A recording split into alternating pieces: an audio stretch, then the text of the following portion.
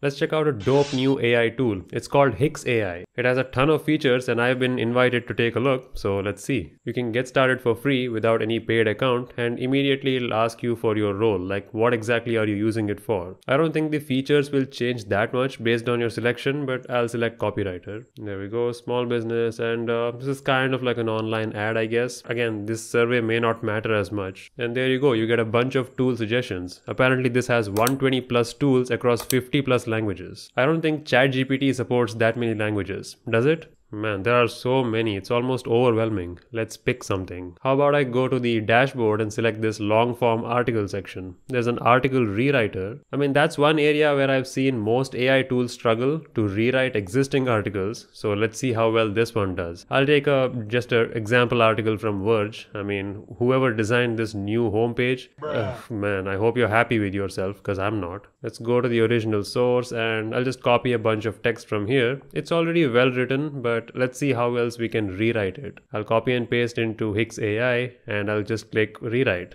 Let's see if it does a better job than literally every other AI writer. Okay, it wrote something without any proper paragraph formatting. That's fine. I guess I can't really edit anything here. You know what? Let's copy this generated text and go to Hix editor maybe we can do something there. Oh, I can press double slash and then I can ask it to make some prompts. We'll check that out in a bit, but let's see what we have so far. I'll kind of space these out so it's easier to read. You know what, reading through this, it's actually pretty good. I've never been happy with rewritten content from any AI tool. I think this might be an exception. Of course, I have to play around with it a bit more. I'm not gonna directly use this text, it's just an example but we are off to a promising start. Now let's try prompting, shall we? As soon as I type those two slashes, I get this pop-up where I can write a prompt. And there you go, it directly populates it into the editor. I asked it to generate a video script in Spanish and sure enough, it is writing something in Spanish. And just like ChatGPT, you can continue the prompt response or you can stop it there. So there you go. I asked for something in Spanish and it did write a script in Spanish. Let's ask something in English, maybe about this iPhone 15 announcement. And I think it understood my meaning of script as a literal movie script. It's suggesting acting and stuff. I mean, that's mostly my prompt's fault. It's not the AI's issue. I mean, if you don't believe me,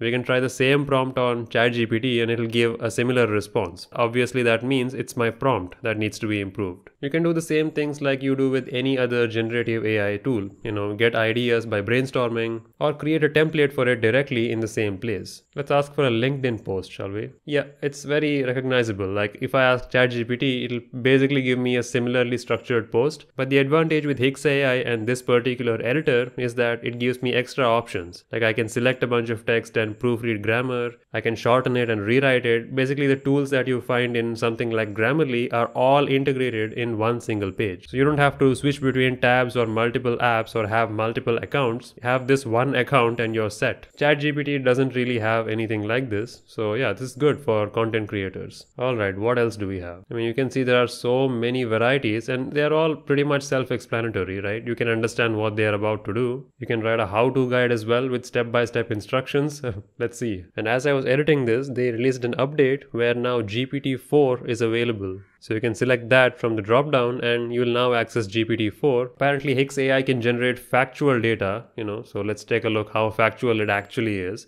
Let's ask for something which we kind of already know the answer to like how to clear browser cache. So it'll ask for a primary keyword. So once I give a bunch of keywords, let's see what it generates. Okay, it generates titles in the next stage. That's pretty consistent with many tools I've seen. They generate templates stage by stage. That gives you more control over how your final article's design comes out. Select a nice looking title, then you get the outline. You can expand on those outlines and see what content each outline will have and you can delete or edit those. I mean, if I was writing a blog, I wouldn't directly include all these topics as such. This is a good good thing, you know, this is what I mean. It saves you a lot of brain power by giving you good suggestions, which you can always delete if you don't like. So there's nothing to lose really. And there you go, it started writing a pretty good looking article so far. But that's not the important thing. The important thing is factual correctness, which we will test now. I'm gonna follow the exact instructions that it mentions and see if it's accurate. Let's go to Firefox, shall we? So it says click on the three line icon. Good, that's right. I mean, it, it doesn't just say click on menu or something, it describes it properly. Okay, it's kind of a miss over there. I know I have to go to settings, but it says you have to go to options. Uh, so the wording is a little different.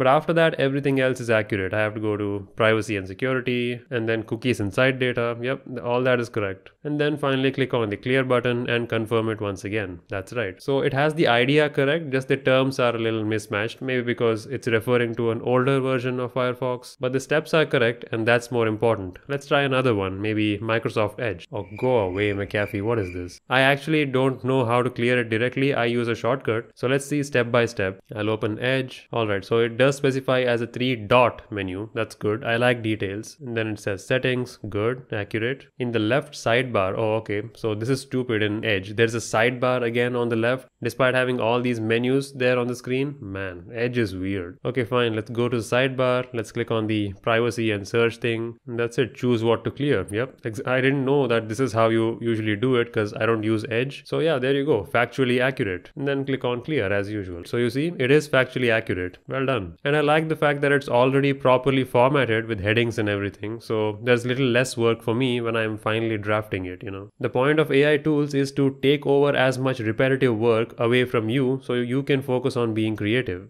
And so far it's doing that. It even has a chat where you can kind of chat with it similar to a GPT service. So this tool is constantly evolving. In fact, just when I tried it, there was a major update. So I'm pretty excited to see where this will be in like the next six months. There's gonna be a video to article feature as well. I mean, the Hix chat kind of gave me a hint that it will be there, but it doesn't have those features yet. It'll also be able to browse the web soon. So that's nice. But for now, it'll just give you, you know, information for anything you're looking for. Okay, there's a useful email writer too too. You know, sometimes I struggle with drafting a good email. Let's see how well this does. I'll draft an email to myself and I'll just kind of set a task to myself maybe. As soon as I type double slash, it suggests me a bunch of templates. Maybe I'll select business email. All right, I'll just type a little bit of a message, just one intimation of a particular word, in this case, the Pomodoro technique. So that's it. That's all I wrote, which is kind of like a message that you send someone. Let's see how it transforms it. Okay, wow. And what's impressive is that it actually added, again, factually correct data. See, it added all these extra information which I didn't include. The method involves breaking your work into 25 minute intervals. Yep, that's correct. That's exactly right. It, I didn't describe any of that as you saw. It added those info by itself. See, again, saving me that manual work of research so that I can focus on creative work. Again, if you don't believe the tool, you can double check yourself. But yeah, it will be factually correct in this case because I know it is factually correct. This is impressive. I haven't seen a single tool with email feature do a good job like this. Well done HixAI, I'm really liking your email writer so far. And like I said, there are like 120 plus tools there and 360 plus templates to choose from. So whatever content need you have, you'll probably find a tool for it there. And the best part is they even have a browser extension. Let's test that as well and see how well it works. I'm gonna add it to my browser and it'll do a couple of things. Firstly, it'll give you a sidebar which kind of mimics the Bing search sidebar. If you recall, you know, Microsoft Edge has a Bing sidebar there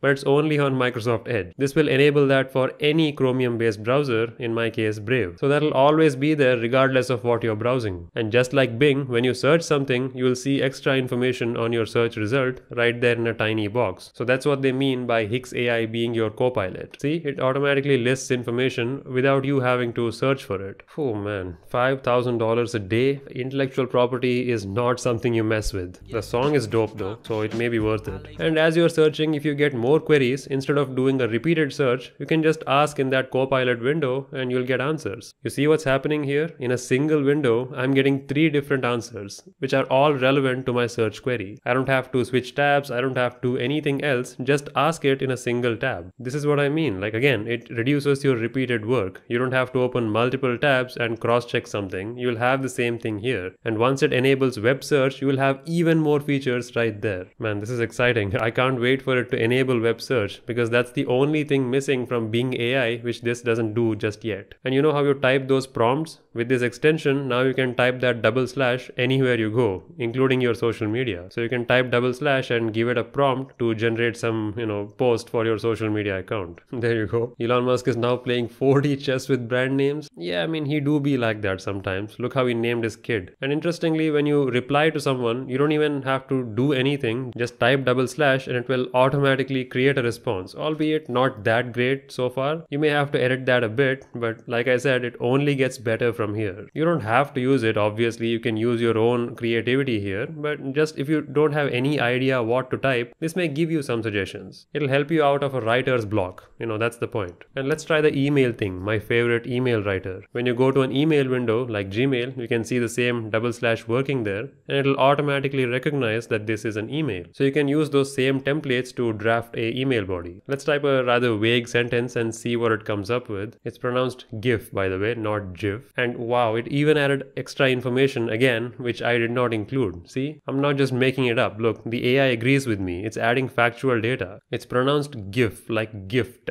not like giraffe. So it's not a GIF, it's GIF. That's how it was originally intended. So don't use it as GIF anymore. That's great. I don't have to explain this to anyone now. Write one sentence and let Hix AI take care of it. Man, this is awesome. I love this. I get a copilot on the side, which I can access by Control P now. I didn't realize there's a shortcut. And you can get same features on Google Docs as well. You can type double slash and you can, you know, brainstorm ideas. You can write an outline write a story, whatever you need. And again, after you spend a couple of minutes refining it, there you go. You don't have to be a creator from scratch anymore. You can just edit the content it makes and call it a day. This is why I'm optimistic about AI. I believe it will augment human experience. It's not meant to replace us. Even though it can, it won't be very good at replacing us as such, at least not yet. So for now, it's a really useful tool. With some refinements, this Hix AI has a really good potential to be, you know, a competitor for any other tool out there. I'm genuinely blown away especially by that email thing and this copilot on the side. I haven't used another tool quite like this. Have you? Anyway, I'll leave a link in the description to Hix AI's website. Go take a look at their amazing set of tools. I mean, you can keep scrolling. Look at this. It has a whole bunch of features. Like there's even a translation feature now. I once in a while get like foreign comments in a different language than English. So I use Google Translate on my browser, but I guess I can use this too. It'll give me a pop-up right there and I can use their grammar check or even the translate feature immediately. Now again, Google has a similar extension, so